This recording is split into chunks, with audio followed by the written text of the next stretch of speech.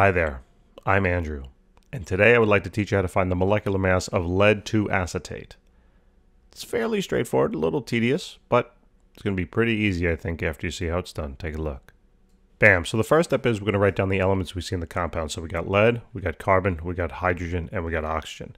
Then we're going to identify the number of atoms, and that's where the subscripts come into play. Now, if you don't see a subscript there at the bottom of a particular element, all right, just put in a 1. So there's only one lead in the compound. All right, that's because that's what its subscript is. And there is no parenthesis outside of it which to multiply by. Next, we take a look at the carbon. Now, carbon, there are two carbons here, but there is also an outer subscript to this entire polyatomic anion called the acetate ion. Um, and in order to find then the, the total carbon, we take the inner subscript and multiply it by that outer subscript. All right, so that'd be four carbons. Then hydrogen, same thing. Take the inner, multiply by the outer, so that's 6. And then oxygen, you can tell, is 4. So then we're going to take those number of atoms now, and we're going to multiply by the mass of each element. You need a periodic table for this. So, oh, wait, look, there it is. So hydrogen is 1.01, carbon is 12.01, oxygen is 16, and lead is going to be 207.2. All right? So those are the numbers we're going to write down. 207.20 for lead.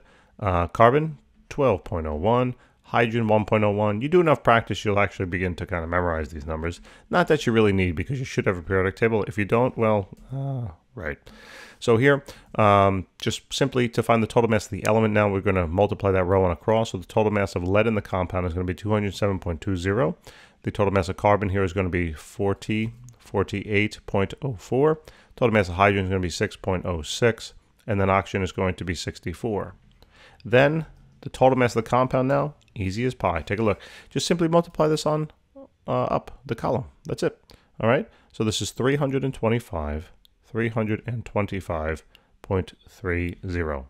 And the units there are AMU, atomic mass unit. Those are the units for molecular mass. Thanks so much for watching. I look forward to helping you with more stuff. All right. We got thousands of videos out there just for you, just to help you through your class. Take a check out our channel. All right. We'll see you. Bye.